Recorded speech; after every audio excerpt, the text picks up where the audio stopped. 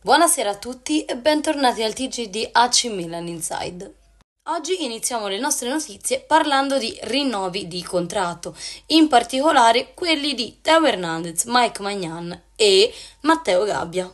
Non è stata fissata una cifra ben precisa per nessuno dei tre calciatori.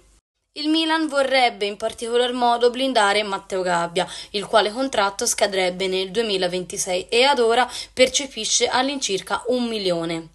Parlando invece di Teo Hernandez, pare che il giocatore voglia assolutamente rimanere a Milano, ma in caso non si riesca a trovare un accordo per il suo rinnovo, c'è già la Juventus alla finestra.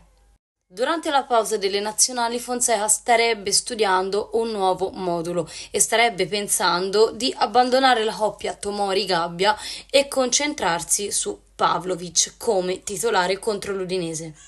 Proposito della partita contro l'Udinese, noi dovremo fare a meno di Teo Hernandez, visto l'espulsione subita contro la Fiorentina, e Fonseca starebbe pensando di sfruttare o due giovani del Milan futuro, e sto parlando di Bartesaghi o Jimenez, oppure di Terracciano.